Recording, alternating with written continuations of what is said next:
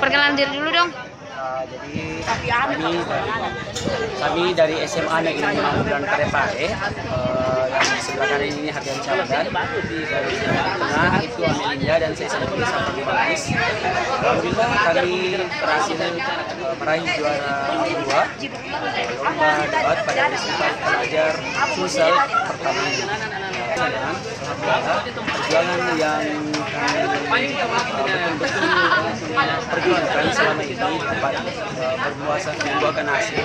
Karena uh, persiapan kami juga tergolong sangat singkat yakni satu minggu.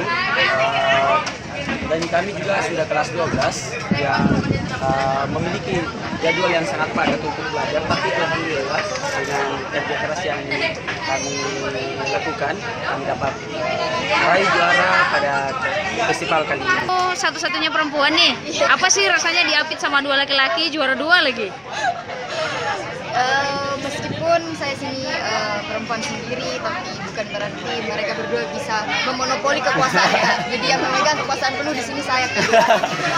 Ya harapannya tahun selanjutnya karena mungkin kami sudah bertiga ini kelas 12 semua Iya. sudah mungkin tahun terakhir kami mengikuti festival pelajar ini.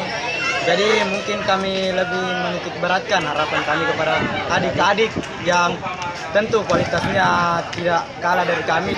harapan kami untuk dinas pendidikan provinsi uh, semoga uh, ke depannya cara-cara seperti ini bisa terus dilaksanakan